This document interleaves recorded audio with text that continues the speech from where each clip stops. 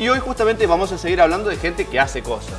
Así es, y hablando de hacer unas cosas es que todos hacemos, todos somos prosumidores, en el sentido que generamos contenidos para las plataformas digitales. Y vamos a conocer una aplicación que tiene un tanto sexista o es para la mujer supuestamente, pero vamos a comprobar que también lo pueden usar los chicos y es para probar transformación en la fotografía en el rostro, el make-up, se llama YouCam Makeup. Dejado con la intriga, me parece que ah. queda la intriga. Vamos a esperar a llegar a ese momento para ver si es tan sexista o, o podemos hacerlo que no sea sexista. Podemos hacerlo, claramente. Claro, claro tenemos gente que hace también con nosotros. Por supuesto, nosotros nos enfocamos en los desarrollos cordobeses y hay dos cordobeses que empezaron a desarrollar una prótesis que puede ayudar a muchísima gente, es una prótesis para piernas amputadas y que puede eh, empezar a dar una respuesta a mucha gente que lo necesita.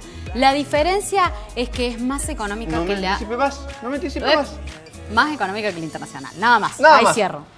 Ahí vamos, nos lo van a explicar acá en vivo en directo. Y en estos cuatro años hemos visto y hemos atendido muchas veces al sector de los videojuegos, tanto a, la, a quienes de una u otra manera se dedican a ello, eh, desde diseñadores, ingenieros, pero hay todo un ecosistema, como bien dice Andrés, que incluye también el sector educativo.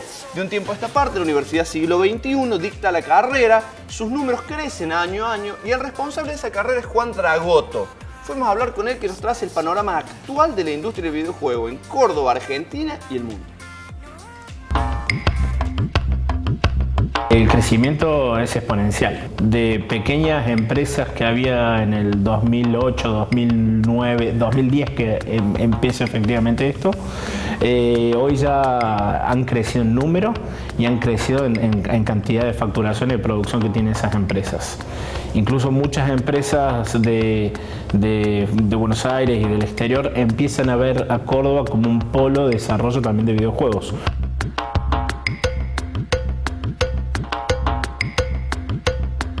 Córdoba sigue siendo un mercado donde las empresas que desarrollan videojuegos no son totalmente independientes, sino que pertenecen a otra empresa generalmente o eh, son del tipo emprendedorismo.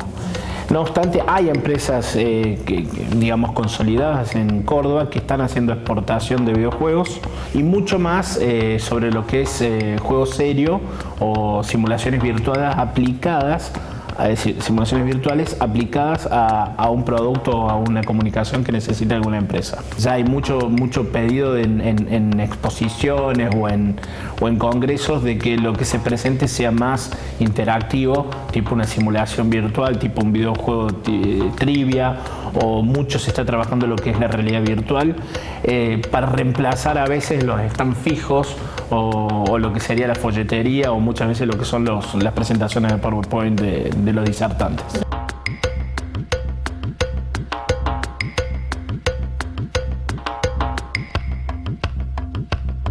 El perfil te da la posibilidad de no solamente desarrollar simulaciones virtuales eh, y videojuegos eh, de entretenimiento como los que se conocen, sino también videojuegos serios o videojuegos que están relacionados para un tercero, como puede ser juegos publicitarios, educativos, de entrenamiento o de investigación de mercado. Se, utiliza mucho hacer eh, pequeños juegos de, lucha o de simulación de lucha entre dos facciones.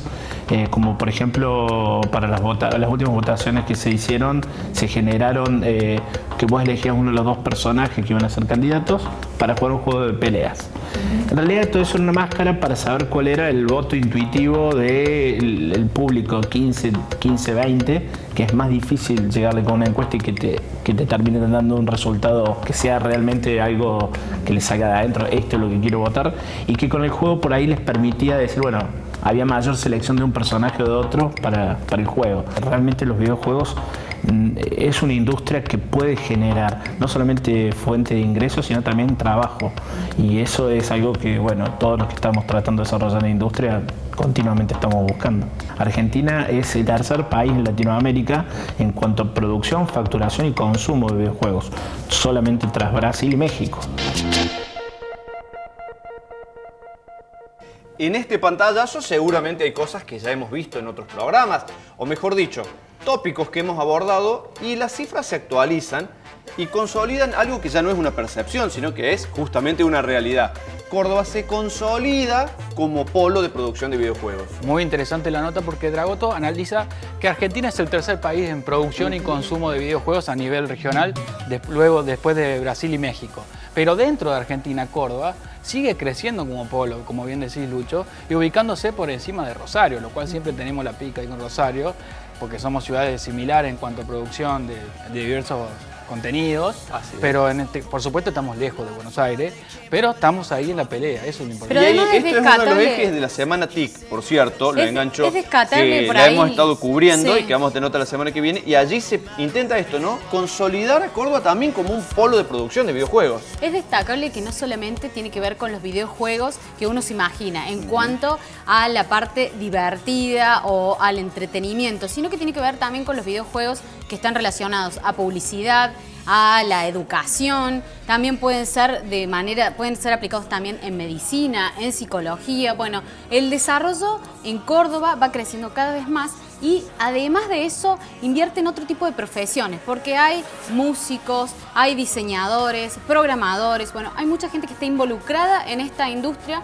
y no solamente implica el entretenimiento, lo que nosotros nos imaginamos. Claro, digamos, ya no es solamente una persona sentada jugando para pasar misiones, y de hecho, uno de los videojuegos sobre los que hablaba Dragoto y sobre los que buscamos material, que tiene que ver con las elecciones pasadas, las elecciones presidenciales de 2015, donde entre Daniel, uno tenía un videojuego entre Daniel Scioli y Mauricio Macri. Como a los jóvenes por ahí era más difícil eh, interpelarlos directamente y decirle quién de los dos votarías, simulaban una competencia en un videojuego en el cual se podían percibir de otra manera cuáles eran las preferencias de los votantes. No, sí, hay una corriente que se llama gaming, digamos, donde aplican las tecnologías de los videojuegos en este caso para la educación o para diferentes actividades que uno puede desarrollar que no necesariamente tienen que ser 100% lúdicas o 100% plenamente para divertirse o entretenerse, sino que también hacer otras cosas a través de los videojuegos. Y parte de esto es Big Data, parte, digamos, el Big Data toma muchos de estos datos, justamente,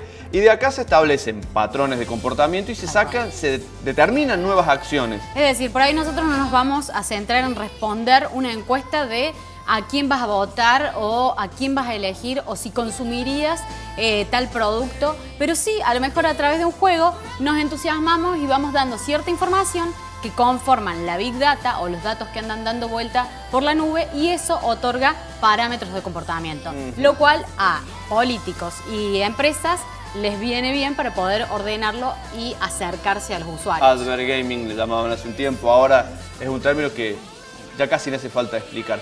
Pero vos lo hablabas bien, el tema también de los videojuegos y cómo los videojuegos por ahí nos sirven para pararnos y reflejarnos frente a determinados comportamientos atávicos en nuestra sociedad.